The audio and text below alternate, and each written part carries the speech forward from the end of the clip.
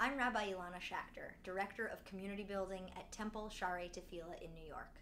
This year, I was a Global Justice Fellow with American Jewish World Service, a program that trains American rabbis to be advocates for global human rights. As part of this fellowship, I traveled to Guatemala with 12 other rabbis to meet local human rights defenders. There, I learned lessons I will never forget. I wrote up my reflections on this trip in AJWS's Just Thought essay series.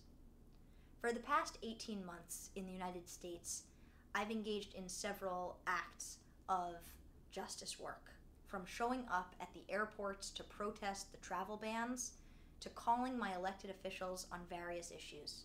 However, traveling to Guatemala felt different.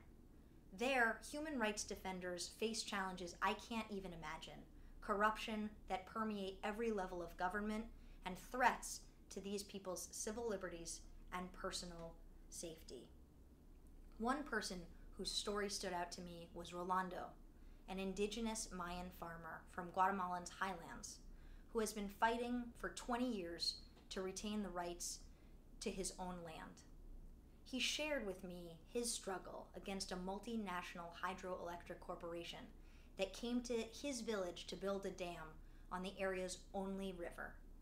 When Rolando tried to sue the company for its infringement on his community's land and water source, police arrived at court with a warrant for his arrest.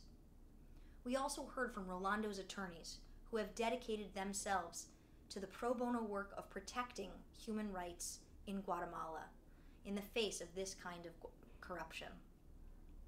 Witnessing his story and the story of his lawyers opened my eyes to the heavy price at which defending your rights as an indigenous person comes, and was a stark reminder of how far we have yet to go in the global struggle for justice and equality.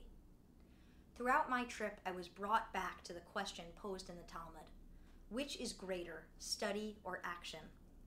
I believe that we need both. We cannot act without the powerful stories of brokenness that ignite our drive to pursue a better world. If you want to engage in your own study on global justice, subscribe to Just Thought today.